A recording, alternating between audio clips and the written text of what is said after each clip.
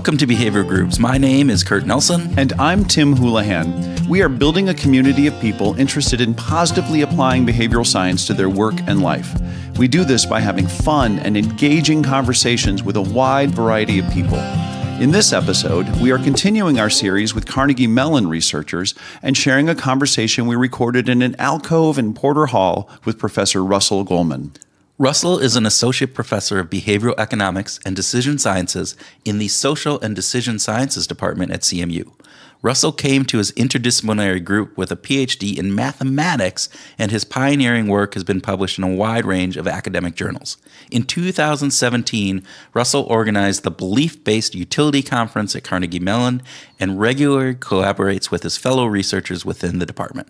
Russell has, uh, for some time, been curious about bounded rationality and about how human beings don't always behave the way economists predict we will we talked with him about how we care very deeply about being consistent with our beliefs. Well, at least some of our beliefs. okay, some of our beliefs, to the point where we'll make irrational decisions to remain consistent. This leads to information avoidance, which is when we anticipate bad news on something that is important to us, like our health, and we intentionally ignore it. The second big topic we discussed was when people are curious, they'll go to great lengths to get information that they want. And while you could probably say that both of these observations are intuitive, Russell is very interested in the solutions, like how we can help people not avoid going to the doctor simply because they don't want to hear bad news. With this mindset, Russell joined the Social and Decision Sciences Department at CMU in 2012, the place where Herb Simon first conceived of the concept of bounded rationality roughly 60 years ago. In our grooving session, Tim and I discussed both of these big topics information avoidance and curiosity. And specifically, we talk about how we can apply these principles into our work.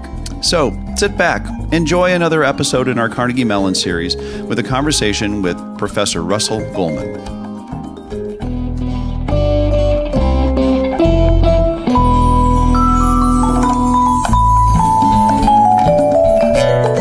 Welcome, Russell Golman, to the Behavioral Grooves podcast. Happy to be here. Glad to have you here. We'd like to start with a little speed round with unicycle or bicycle? Bicycle. Coffee or tea? Tea. Travel with no itinerary or a set itinerary? Changing itinerary. Changing itinerary. Changing itinerary. Like oh, interesting. I, I, okay. I, I, can't get, get stuck in this forced choices here. Apparently not. All right. Michelangelo or Monet? Uh, Monet. All right. Okay. There we go. Okay, great. Well, good. So, uh, your work uh, is is broad and, and varied, right? But we would like for you, if you would, share a little bit about information avoidance. Talk about sort of the, a big picture story about information avoidance and some of the things that you've discovered uh, in in some of that work. Yeah, I, I got in, very interested in the fact that people tend to not want lots of pieces of information that would be very useful to them. Um, so. Um, economists usually think that information can only help you make better decisions. Like, why would you not want to know something and then find that like you could have made a better decision if you knew? And then you look around and ordinary people just there's lots of things they don't want to know. So people they're eating dessert. You say like, do you want to know how many calories are in that piece of chocolate cake? People don't want to know that. I don't want to know. I count me in on that one. yeah. Um, you ask people, do you want to know, you know, what might be causing that that symptom you have? Like you're, you've got, um, you've got some swelling there. Should you get it checked out? You've got a lump. Should you get it checked out? People are like, maybe it'll go away. I don't want to know, right? If yeah. it if, if it reaches a point where it's like impacting their lives, maybe they need to deal with it. Um, it'd probably be wise to get it checked out before it impacts your life. But a lot of people say, I don't want to go to the doctor. I don't want to know that. And, and so, what have you been finding with this information avoidance? So, what is your research kind of pointing to, and what are you looking at? What are you trying to discover? Uh, my research is trying to figure out why do people avoid information. So okay. there's there's a lot of this empirical research that documents that people do avoid information that would be useful. Um, and I do some uh, theoretical modeling that tries to say, can we can we put this in a framework where we understand why this happens? Okay. Um, and the the pieces of the framework that I focus on are belief based utility. Okay. So that, that people care about their beliefs, not just for the decisions they, they make based on these beliefs, but just certain beliefs are nice to have and other beliefs are not nice to have. So thinking that my dessert is really unhealthy, it's not a nice belief. And thinking that I'm about to be sick um, or that I might have a serious disease, that's not a nice belief. Um, and then there, you need something more than just not liking certain beliefs because, in principle, it seems like even before you get the before you decide not to get the information, you must already have some fear of this bad outcome. It's like, didn't you already suspect uh, that you had this this bad thing going on that you didn't want to believe? So like, how does getting the information make it worse? Yeah. And what we think is going on is attention. That it's like you get the information and it forces you to pay attention to it. Interesting. Oh, and, and to your point, when you talk about some of the uh, information avoidance with you know disease, different things, and I, I had an, an aunt who um, literally you know went into the hospital and died a few few days later from some stuff. And what we found out later is she had lots of symptoms going into this many months, many many many months in advance, but she just chose not to get it checked out and different things. And so what you're saying is that there's this element of a belief utility that she's probably going, yeah, I, I kind of know something, but I really don't want to know that. Yeah, right? I, I, don't want to know it, and I don't want to have to think about it. So, like, if I go to the doctor, I can't not think about about what could be wrong. If I go about my daily business, then it's just not top of mind, and so it doesn't bother me as much when it's not top of mind. Does okay. this fit into a broader story of our desire to just avoid avoid things in general? Uh, avoid unpleasant experiences. Oh. Avoid. I'm thinking of you know of just any kind of. Uh, I don't like to uh, cold call, so I'm not going to be a sales rep. You know, so just you know I'm just going to push that off and just not do that. Is this is is uh, information avoidance part of a, a larger narrative? Oh yeah, yeah. I mean, generally people try to avoid uncomfortable situations, right? And and there's nothing that's irrational about trying to avoid a bad outcome. So yeah, right. so so I mean that just is totally normal. The the odd thing about avoiding information is it seems like even if you don't get the information, like the bad state of the world is still there. It's like even if I don't find out that I'm sick, I might still be sick. Right. Right. And so the thing that you need to wrap your head around is it's not just like the physical consequences of being sick that are bad, but the the knowing that you're sick is itself bad. The it's like knowledge, like, like the finding out about it is yeah, what's bad also on, yeah. on top of the actual being sick. So what is some of the research that you're doing on this? So help us understand like specifically how are you going and and identifying these and then figuring out what's going on. So um, so so what I do is I, I build theoretical models. Okay. Right? And and um, there's been existing models that say that like people care about their beliefs, they care about anticipatory utility, they might have anxiety if they um, if they're afraid of something bad happening, and then um, there's some debate then, which is like, does this really explain explain the patterns? Okay. Um, so if you if you have the anticipatory utility, but you don't have this kind of intentional component, it seems like you might you might be happy with information, you might be unhappy with information, depending on um, just like like do you like um, do you like finding things out in general? Okay, but these models don't don't tell you why why would you not want information about these negative things and still want information about positive things? Okay, um, and so um, the research that I've done is is try to create a model that the model sort of tells a story about why do we avoid information about certain things and not about other things. Okay. It's not like we avoid all kinds of information. It's like yeah. if you were to give me a gift here, I wouldn't be like, I don't want to open it and find out what it is. That's information I'd be very comfortable getting. Right. Um, so are, are there particular categories that we that we have this a more normalized or common level of avoidance? I, think it does tend to be unpleasant things. It's like it's like we avoid anything unpleasant. Avoid anything unpleasant, or avoid information about anything unpleasant. Yeah, because because this is really focused on the information side. It's not actually trying to avoid the it's experience. Because yep. as you said, that's inevitable. Yep. right to a large degree. Yep. And in fact, getting the information is is maybe even helpful in avoiding the negative experience. Right. If you find out you're sick, you can get the doctor to treat it.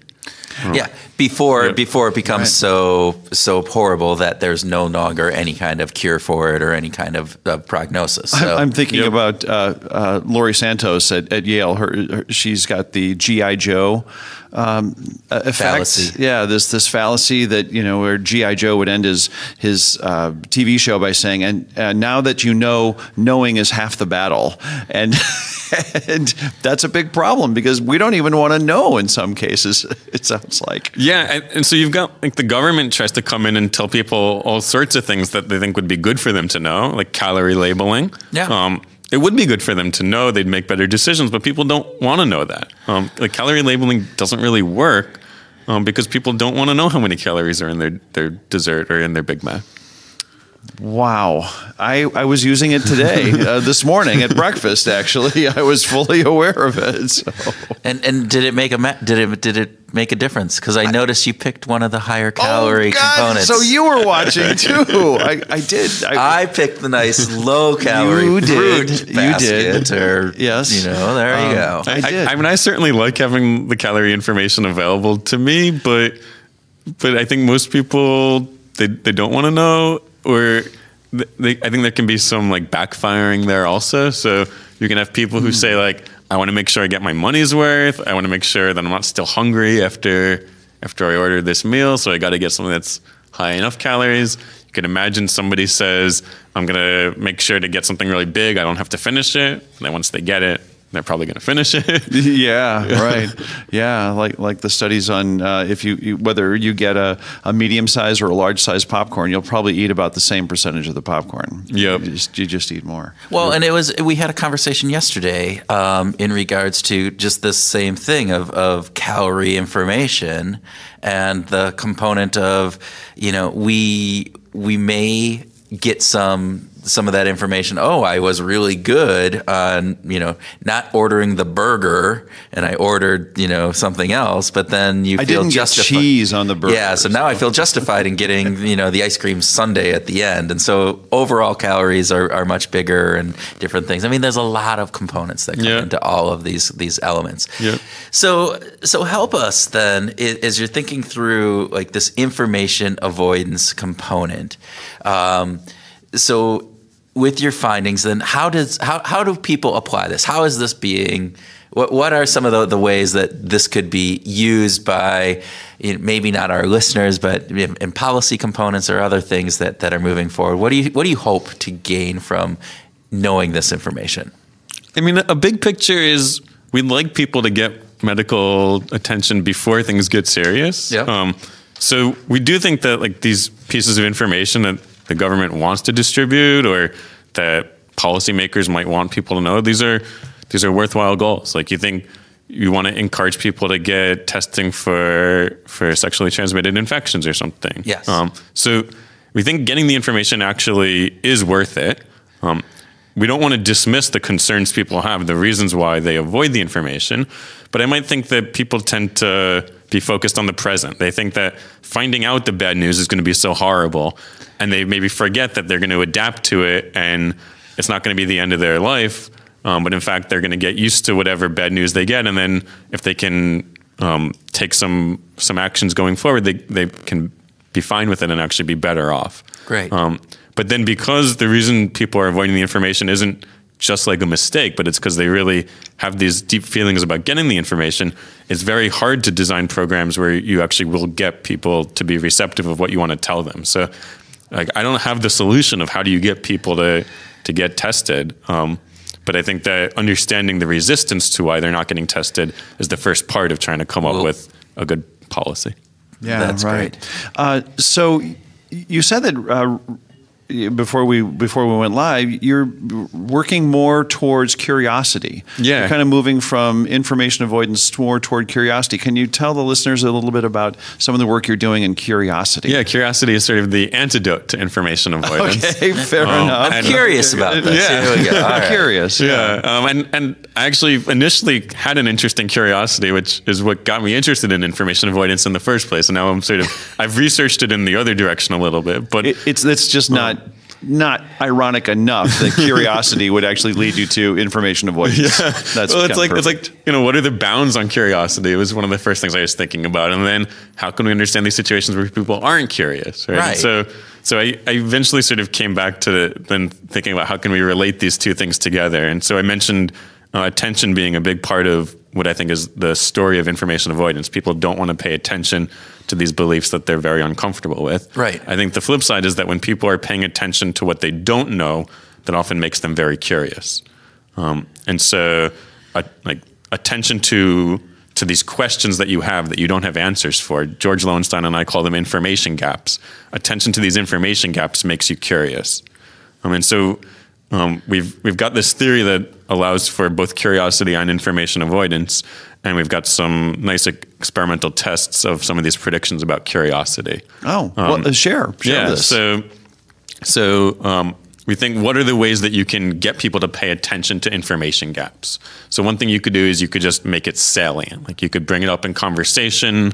Um, you could prime somebody to think about it. Or in the flip side, if you want to make something less salient, you could just let some time go by after you had um, raised the issue. So we give subjects a test to take. It's like, can they identify um, emotions based on just a little small um, cropped picture of people's faces? So you get to see just their eyes. Can you figure out their emotions just from seeing their eyes? And we think that people may be somewhat curious about like how good are they at reading faces like this. Um, and so we give them a chance to find out the, how well they do on this test. Compared but to? In one case, they get to find out right after they took the test. In another case, a whole day goes by before they get the chance to find out. So a whole day goes by, you're not so curious anymore. It's not salient anymore. Um, ah. Another another thing that we think can affect curiosity is just how important um, this question that you're asking yourself is. Yeah. And of course, information can be important for a lot of reasons. It could be important because you'd use it, and that's not particularly surprising if if that's why you're getting the information. But it could also just like feel important, um, even if it doesn't have any usefulness to you. So we give people um, a series of trivia questions, and we set it up so that they they can get a bonus if they get all the trivia questions correct. Um, and eventually, we're going to ask them how curious are they for this last trivia question, which is really hard. Um, and so most of them aren't getting it correct. And they're going to see, are they curious about it? But in one case, all the questions before it were pretty hard. So by the time they get to the last one, they didn't really have a chance with the bonus anyway. They weren't going to get them all correct. The other case, the initial questions were all easy. And then they get this one hard one. And that's really the difference between getting the bonus or not. Now it's too late. They didn't get the bonus, but are they curious? If this was the difference between getting the bonus or not, it felt really important to them, and now they're much more curious. Interesting. That's a fascinating experimental model. Well, uh, it, it, to, to get to that, it, it, reminds me of the component, and, and I forget what the it's called, but it's the missing an airline flight by one minute and how upset you are versus you know my I got stuck in traffic and I'm 40 minutes late. Yeah, you still miss the airline flight. Yep. But the level of your, you know, it, vividness or whatever like how is, important how, how important it? that yep. is, and like oh, if and you kind of go back in your head, if I would have only done this. Yeah. So it, so we thought a lot about like how do we think of importance? We've got like a, a, a formal definition in our paper, um, but we thought about like counterfactual thinking. Like yeah. one thing is that when something is in the future, there's all this uncertainty about how it's going to go. And so uncertainty can make something feel important because there's a lot of different ways they could go. Some can be good, some can be bad. Once something's in the past, then it's already happened and it no longer feels very important because it's like the only way it could have gone is the way it went. And so that's just how it was. Like it's not important because there's no other way it could have gone. Right. So counterfactual thinking, you're sort of forced to think about how else it could have gone. But it, it's not so natural for people to think about how else the past could have gone. It sort of went how it went, and That's it feels it, inevitable, yeah, right?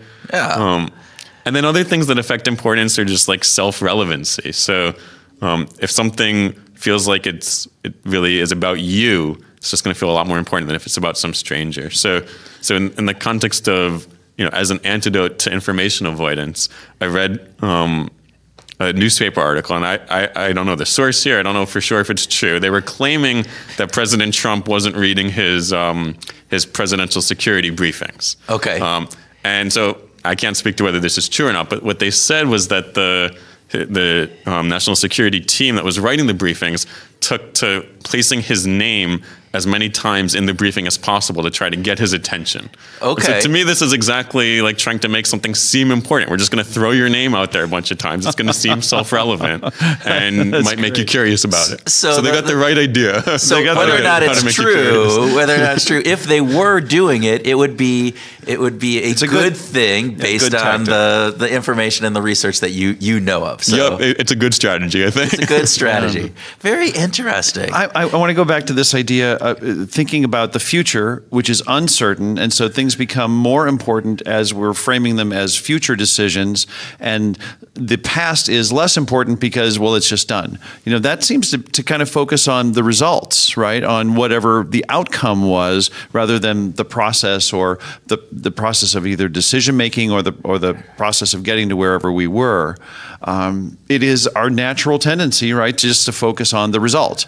If the if if the result is unknown and I can't easily predict it, well, that then that becomes more important to me. Um, even avoiding or skipping over how important the process of getting into the future is. Uh, just thinking about the result. I'm editorializing and um, thinking about other conversations that we've had. So, well, I, I mean, I'm, I'm a big sports fan, and so so you notice this in, in scouting where, um, like, if a if a player turns out to be a great player, they, they're looking at the result. Like, you know, did I predict this? Yeah. They're not thinking about the process of like, should we have expected a certain draft pick to actually turn out well? What could we expect? Um, so, in thinking about how can you make better decisions, I think it's it's clearly the case that focusing on process um, is a better metric for what's something a good decision than focusing on outcome. Um, but it's not intuitive to people to do that. Well, and I, I think that's a great component, and you kind of think about all of the other factors of, of that happening too, right? And and even like the coach's decision to do these plays, if it results in a first down or it results in a touchdown, yeah, that was the right one versus not. And even if you look back and say, well, yeah. 80% of the time that worked and this was Yeah. just that 20% that it didn't and now it's a bad decision versus good you know Yeah. all of that that's a Like, whole I- a few years ago, the Seahawks had an interception at the one yard line. It's easy to look at the outcome, but is it a bad process? I'm, I'm not. I don't have the expertise to judge that, but I wouldn't assume it was a bad process just because they maybe had some bad just luck. be, just because the outcome wasn't what all the fans wanted or what anyone wanted, I suppose. well the the Patriots wanted it Well, the Patriots wanted, it, but the Seahawks did not want it. That's right. Well, Annie Duke talked about. We talked with Yeah. Annie Duke, and she wrote about that in her book and Thinking Bets. But she said, you know, they they did some re- research afterwards, and then of the seventy some plays, and I'm going to get me wrong on the numbers, right? That year that were a pass from the two yard line or less, there were no interceptions. Um, there's like 60% completion and 40% dropped. And so if you actually look at that, you're going, well, yeah, that was a second down play. They would get a component where, you know, they either would get an extra play out of it because now they don't have to run the timeout. There's 20 seconds on the clock. Yep. And the likelihood is either it's going to be caught for a, compl- for a touchdown or it's an incomplete, which then gets an extra play. So yeah, the decision to do that, great. The outcome, not so great for for the Seahawks. And so you look at that, and it's it's a really interesting component in thinking through that. But we digress. But Yes, we, we yes. go down rabbit holes all the time. Yes, we I, do. I want to go back to the importance because you talked about the self relevance, and and I do a fair amount of work with organizations around their incentive plans, and we always get this component of people uh, of the organization saying, look, we don't have to put a lot of effort into how we communicate an incentive plan because people are really curious about their own pay.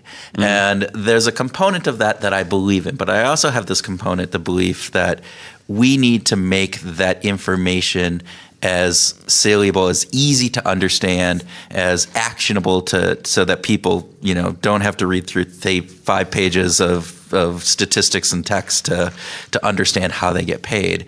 I don't know if you have any component of is there work that says, yeah, I'm I'm curious up to a point, but if there's so much work going into like trying to figure out how I get paid, even though it's really relevant to me, that I just make some heuristic components and don't really get into the details, but I just make some generalizations, and then uh, now my curiosity is is solved, and that's pretty specific. I don't know if, if there's anything that you would be able to pull out from that. Well, we certainly do think that the cost of getting some information matters, and Okay. it, it could be a monetary cost, but it could also be an effort cost.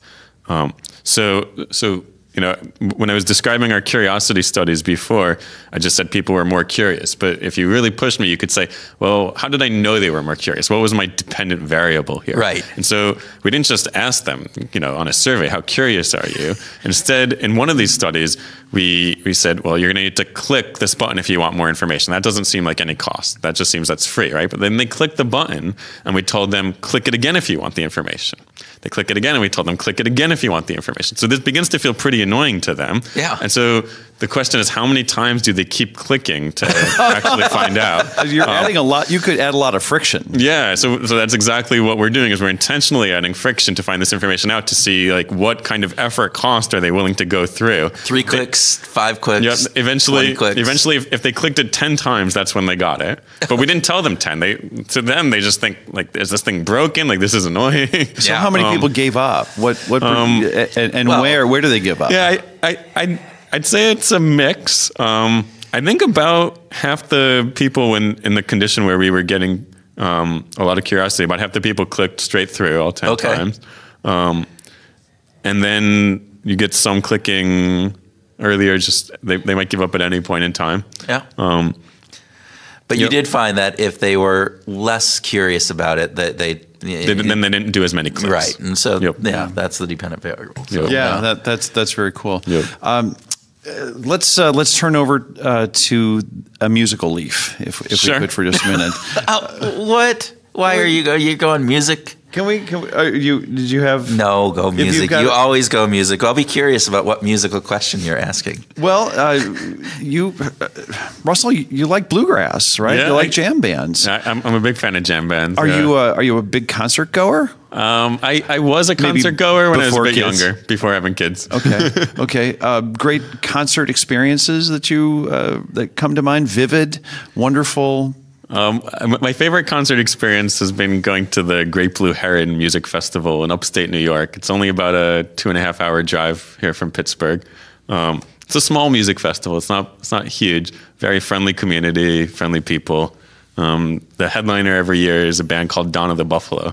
Donna the Buffalo headlines every year. Every year, yep, it's like their festival. Uh, That's what it sounds like. yeah, it's good. that's a hell of a good gig. Yep. Uh, okay, so uh, what makes it vivid for you? Um, they they've got a couple of different um, uh, performance stages. They just have everybody sort of dancing and enjoying themselves. And um, uh, some years we've been there and it's been super rainy, and you'll get like a good layer of mud on the ground in front of the tent. Um, and so we've taken to calling it the Mudfoot Festival. No, there you go. Uh-huh. Um, I can I can also remember a few of the, the characters from the festival. Um, uh, I've seen a guy using a watermelon rind as a hat there, and that's pretty memorable. That is memorable. wow.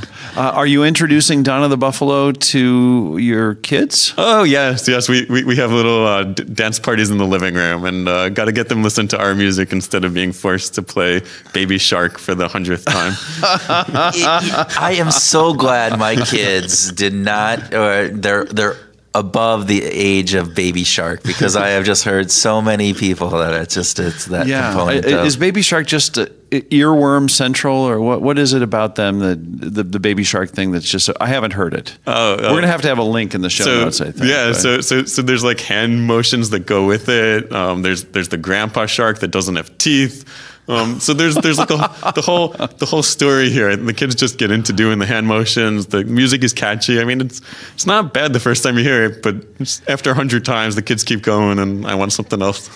yeah, as as we talked with Jeff Galak yesterday Yeah, about yeah. hedonic discounting and you know and and this whole component. We talked about music and that very fact of simple uh, a simpler tune is easy to catch on to, but it's also quicker to fade. Yeah, Uh, yeah. So, so part of like in jam bands is they often sort of of go on in like new directions with their music, and So so, you might catch a song that you've heard before, but have them play it in a different way. So the complexity adds to uh, to the desire to stay involved, Yep. stay interested in it. Yep. Yeah, that's pretty terrific. Very good.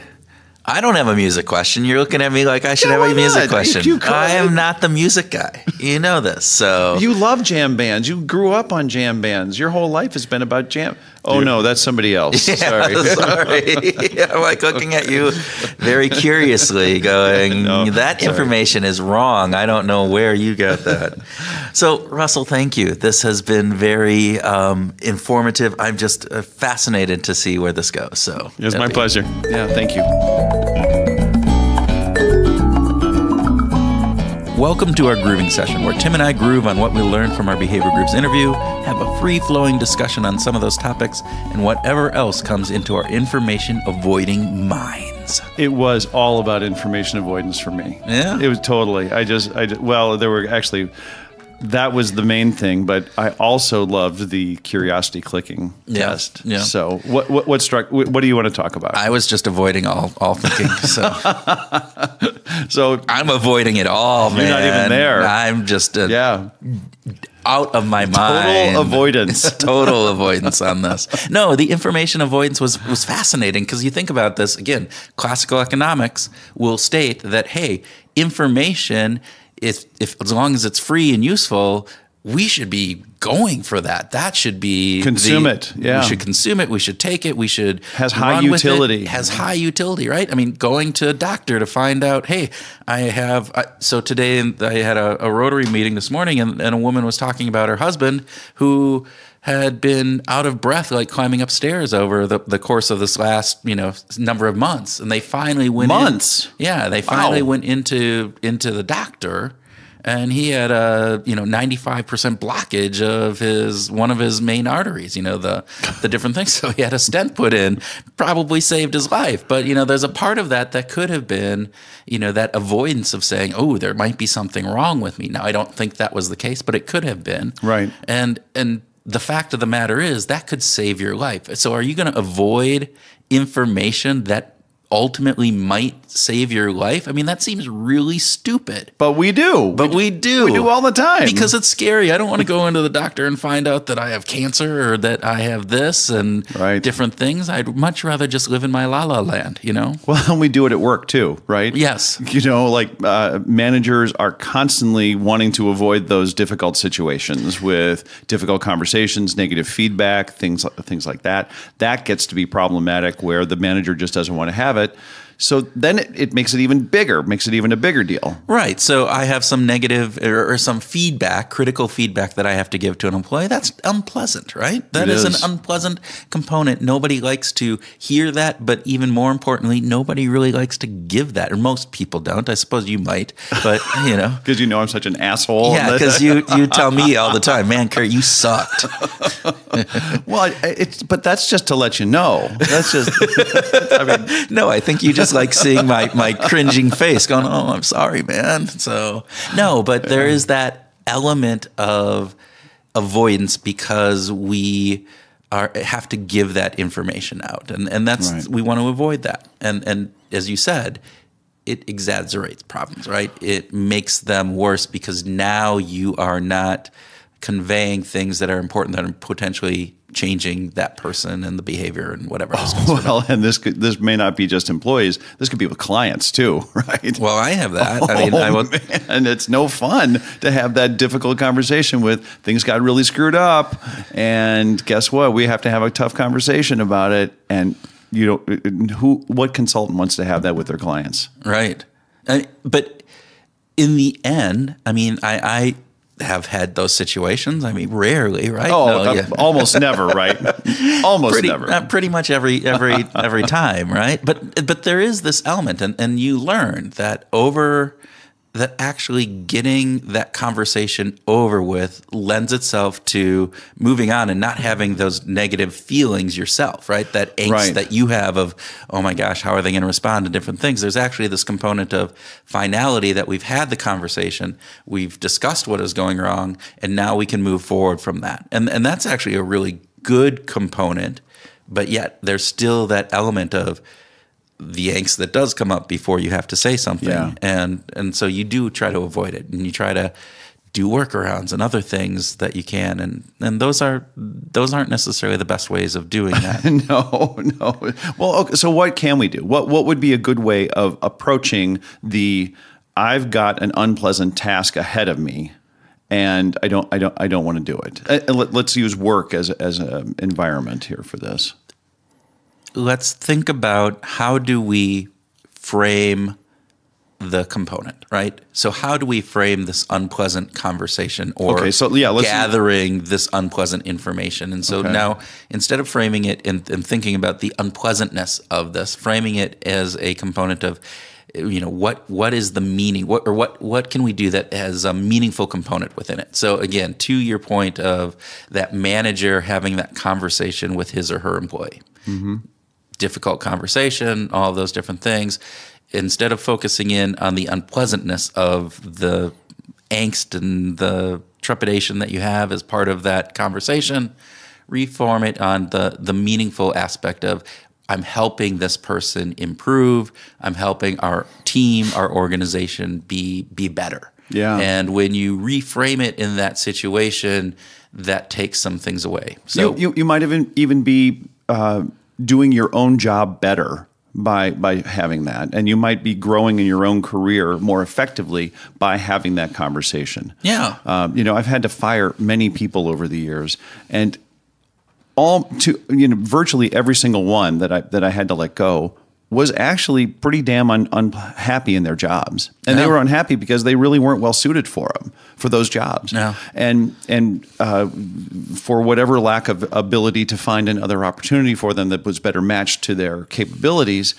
I had to let them go, and it was really unpleasant to do it. But I also felt that there was something virtuous about giving them the opportunity to go and find something else Right. and to uh, many of those people, you know, I, I stayed in, I have stayed in touch with. I have good relationships with. I wrote, you know, reviews for them that were positive about the good things that they did. Yeah. but they just weren't a good fit in that job, and they weren't being effective, and had to have that conversation. And so I felt like it was a, you know, I could see something virtuous in in, in letting them go. Yeah. So uh, we've been talking more about not necessarily information avoidance. We've been No. talking about difficult conversation avoidance and different things. But I think you taking a look at this from the perspective of work again, we do often avoid information that could be negative. For instance, looking at our financials and realizing that our margins are decreasing significantly over and over a period of time and we don't want to realize that right? Or the cash flow isn't there and in many entrepreneurial components. I mean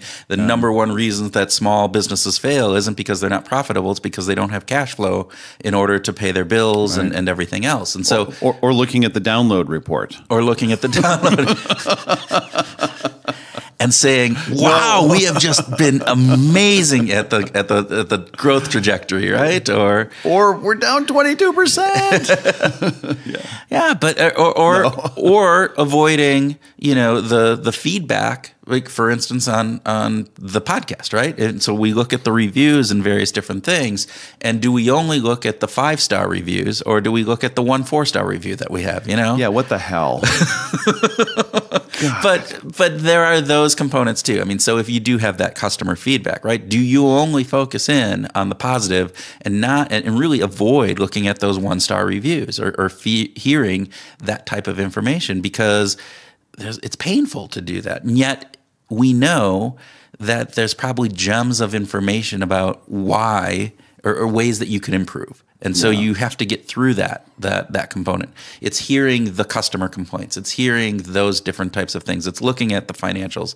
It's it's listening to your employees when they're bringing up information that hey maybe the workload is way too much and as opposed to just digging you know putting your blinders on Absolutely. and saying well, we just have Absolutely. to do it you know listen to them and, and, and explore that a little bit more Well, eh, the, paying attention to critical information is is terribly important in running our business. But as Laurie Santos would say, you know, with the GI Joe fallacy, not you know information in itself isn't enough. You know, we still have to act on it. Right. Uh, so, so, so what do you think? How how do we get people to act on to to actually? All right, I, I know I should, but now how do I actually actively go and and and look for this information and not avoid it? Well, Saurabh Bhargava talked about uh, paying uh, participants, rewarding them with a ten dollar gift card to go and sign and check their balance in the four hundred one k. They were avoiding it. Yeah. And and that that ten dollar gift card to check their balance actually caused people to, to look at their balance and realize, holy hell, I'm not signed up. Yeah. So I better sign up. And and uh, and and they took some action uh, because of that. So an extrinsic reward of some sort to to do the the unpleasant activity. Yeah, extrinsic rewards, I think, in this situation are good for a one time thing. I wouldn't recommend uh, extrinsic r- rewards or motivation for something that you want done on a regular basis. Agreed. Um, not you know not not a good model. You could also uh, you know you could reward yourself just by ha- doing something pleasant after the unpleasant thing. Just say, okay, when I get done with this unpleasant thing, when I finish you know with the unpleasant conversation then I'm going to go take a walk, or Okay. I'm going to spend five minutes of listening to music on my headphones, you know, in, in a conference room, nobody around. You Oh. know, I'm just going to reward myself. So like when I get ice cream after these that we I do with you, right? That's my little reward for myself, and I go, yeah, got it. I, I get it. There Is you that, go. is that why you always have ice cream after we do one of these? I didn't know that. I, so now oh man, I know. this I is know. just this is like uh, too much information.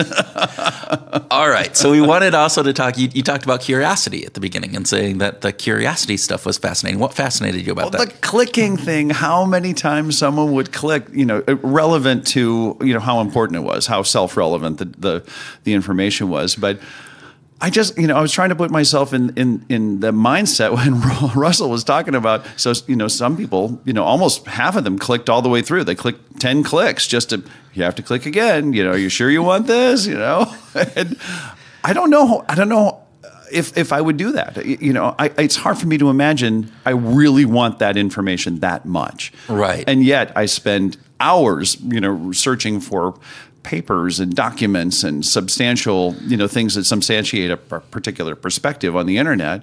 So maybe in some ways I am. Maybe I am doing it. I don't know. But you, how about you? You do this too? Well, I think we all do, right? There's that component of clicking through, particularly on the internet, right? It's it's relatively easy, and yet there's a cost and there's a time frame. Yeah, there different a cost. But there's also that dopamine release of like, ooh, what's what what's next? Uh, there, there could be something cool if I one more click, Oh, I one love, more click. I you love my dopamine. I love it. So I, I, I go back and, and when he started talking about that, I remember I used to have this app on my phone. Can't remember what it's called. I think it was like "Don't press this" or something, and it was this just this red button, and you press the red button, and then a little note comes up afterwards, right? And it says like, "Why'd you press this? Don't press it again." And so you press it again, then a different note comes up, and you keep going on, and finally they get, you know, it's like if you press this again, you're gonna, you know, drop a nuclear bomb on the world and then you press it again and okay so we lied but really this time it's going to be horrible you know and so you just keep doing and, and Was there ever a, re- a reward at the end? no it just kept going and going and going so but it was well the reward was the cute little funny little statement right And After every one. after every one uh-huh. and i think actually there was a point where it's just you know there was just like the same thing, you know, kept coming up a, a- few times, and then if I, I thought that would bore you, you know, you're still doing this in different pieces, but Well, I heard Jim Gaffigan recently say that he's addicted to the news. Okay. and that really resonated with me because that is that is my dopamine release, and I'm and my curiosity is well, what's the next story? What's the next story? What's the next story? What's the next story? What's what's the next story? It's like oh my god, I just like I, I got to stop. See, that's my information avoidance sometimes. really? Well, think about. I mean, think about the news today, right? A, a vast majority of the news out there is is pretty negative. It's pretty downtrodden, and it makes me feel oh, I, I, I lose hope in humanity uh, when I when I hear the news and I hear what's going on and some of the the crazy shit that's going down. And so I just want to avoid it. And in reality, though, it's really important for me to understand that, to be an active participant in society. I should be looking at that and I should be searching it out. But I do actively just avoid some of that. Uh, Interesting. Yeah. Interesting. Okay. Um, uh, I want to go to a musical question here for you. what am I going to avoid from my music? What? No, no, on the curiosity side. Okay. You how do you find new music? No.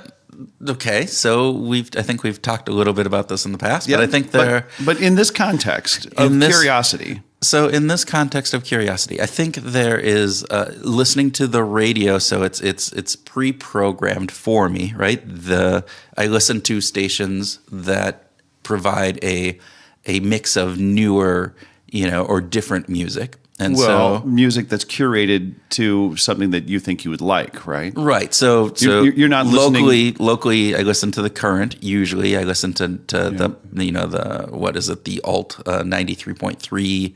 You know, again to to my genres, but they are playing newer music. The current, uh, it, in fact, though, plays a wide variety of different musical styles. Sometimes they is- play music prior to 1978. They do. It's really. I mean, I hear some Jimi Hendrix, you know, Yes. and some others that that you talk about. But with that, I think then you know to actively do it. I think there are some times where I will just on because the the uh, threshold, the friction threshold of of searching for new music. I don't have to go out and buy uh, a CD or an album anymore and not know if I'm going to like it or not. I can just go to Spotify or Pandora and stream it, and I can you know test something out. And so I think there's a lot more of that happening, particularly in some of those those components where I'm listening to something on that and I hear a band that I hadn't heard of before and I might click through and say, oh, like, ooh, Flora Cash. And now I can Flora Cash radio. And so now I listen more of their stuff and various different things. So you're uh, you could also frame this in a way that says you're you're not listening to or you're avoiding like you're not listening to the classical music station, right? That's true. I am avoiding. You're not listening to the mainstream country station or the traditional country station or the folk roots station or Right, right. or the reggae station. right. Do we have a reggae station in the Twin Cities? Well, I don't, I don't think we do. Actually, I just made that up. But but you could be listening to I it. could, I, but if it was there, You I could- could avoid it. you could, but but you could be streaming it. You know, the- I could be streaming it, yes, and, I, ah. and I usually don't. Right? Yeah, so so there's a, a certain selectiveness about where you're, you're you're going in the direction of your curiosities and you're avoiding things that you think might be unpleasant. Well, it- to use Russell's term, Oh, there you go. It, it's in, that, that that brings up an interesting thought, though. So thinking in that musical curation, right? It's leading me down certain paths, but not other paths, right? Because of that avoidance thing. But then well, it's it like being on a bowling alley, right? I mean, there's there's bumpers on either side. but but does it uh, kind of um, you know make that narrower by definition in other words. And so are there other things because of information avoidance do we get a narrower scope? Because we're not opening up those blinders to seeing various different you know potentially unpleasant things that might open up our, our mind again thinking through business um, looking at the you know negative feedback from from something that you have going on it could open up an idea to a whole different we might instead of behavioral grooves we might be doing you know um, behavioral jumping or something. I don't know. That was uh, not- but there are other ways you know but looking at something from a different perspective. Oh, gotcha. Okay, okay, Yeah. all right. so. Okay, how about you? How do you find new information I- or music? I get a lot of uh, emails and te- you know I'm I'm it kind of in the music community, so I'm talking to people a lot, and and getting- anybody younger than like 55 Yes, God, I, yes. I listen to. I, I, I get to play with a lot. Actually, I you know share nights, you know, and I go out and you know play a double bill, and a lot of those artists are are under thirty, and yeah, how about that? and God, and, and so um, so in the conversation, so. I, you know, I'm curating to some degree. I'm curating my playlist based on r- referrals from people that I trust. You know, so I'm I'm being informed by what would be interesting because if they say, "Hey, have you- have you you know checked out this this new record by the by the um, Cactus Blossoms?" Like, no, I haven't checked that out. Or the Pines. Oh, I haven't checked that one out. Okay, so I'll, so that leads me to because it's coming from a um, a trusted source trusted source. Yeah, thank you. Yeah. yeah, that's it. That's fascinating. Yeah. I never knew you actually listened to stuff that was beyond, you know, I'm joking. I know you do very much. You're very musically inclined across all genres and eras. all right. Bullshit. Excuse me. Uh, listeners, thanks for hanging in with us for another uh, another session, and I hope you enjoyed this uh, this romp through Carnegie Mellon. There is more to go, and we hope you check out the entire series. And please leave us a rating, uh, favorable or unfavorable. We swear we will actually even read any unfavorable reviews out there. But, you know, We won't avoid them. we won't avoid them. But thank you.